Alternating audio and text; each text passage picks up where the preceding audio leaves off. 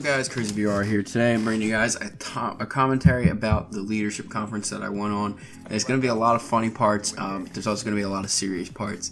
So it's kind of like a mixed commentary. It was a very fun time, real quick, before I start.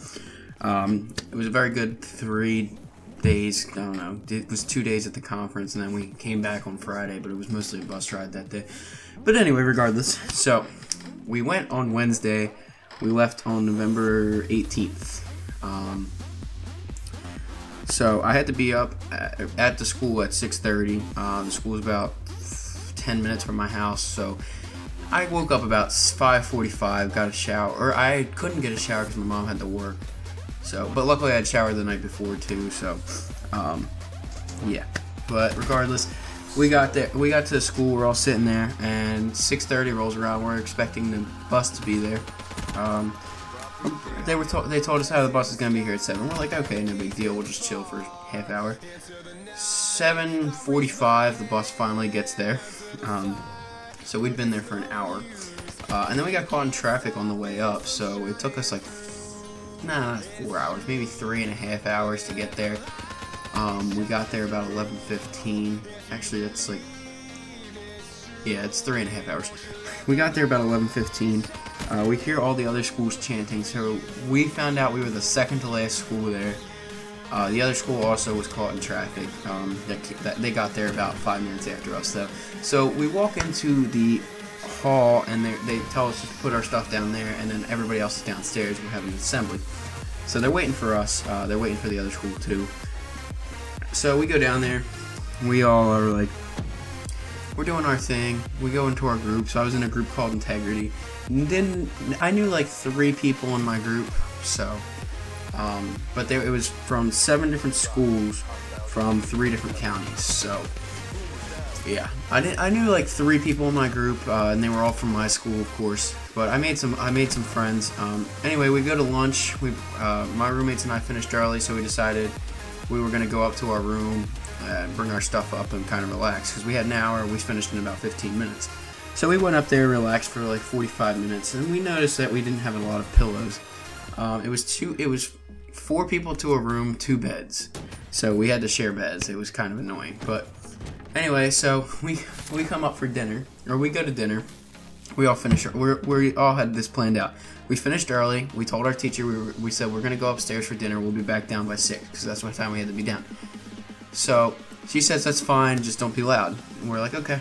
So my roommates and I, they, they say, Mike, you're holding the door. I said, all right. They all sprint down because they noticed that the linen closet was open. And they sprint down. Each of them grabs two pillows and two sheets. So we have the two pillows on the, uh, there was two pillows on each bed. So we have 10 pillows each. Um, we have like eight sheets. Um, we have a ton of sheet. We have a ton of stuff. So everybody kept coming in our room, knocking on our door, like, "Hey, hey, can we get a pillow?" Or yeah, we were like, "Yeah, sure." We gave out like three pillows. We, we gave out four pillows. Um, and then we were like, "No, we got them for ourselves." After that, um, so we had a ton of pillows, but it was really funny because we weren't supposed to be loud, and they were sprinting down the hallway. Um, so anyway, nothing, nothing else really funny happened that night. But I was dying. uh, so then we go back downstairs. Um, and then the rest of the night goes on. It's 10:30. There's a party. We're kind of bored, so we go upstairs. Uh, I was sitting there watching Netflix on in like on like this couch downstairs. So they tell us we can go to our room. So I go upstairs. My roommates come upstairs with us, and uh, yeah. So we're up. Um, they tape our doors shut at 11 because that's our curfew. So they um, we hear a noise about 11:15. It sounds like tape ripping off.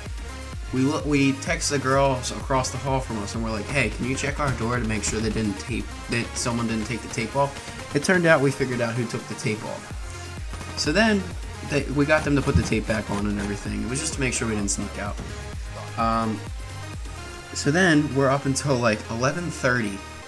Um, I'm just about to sleep, and then we hear so we one of my roommates goes and checks the door. He's like, oh, maybe it's a teacher knocking or something. Nope, no one was there. So then we hear that was me scratching my desk, but we hear that a noise that sounds like that. We're getting really creeped out.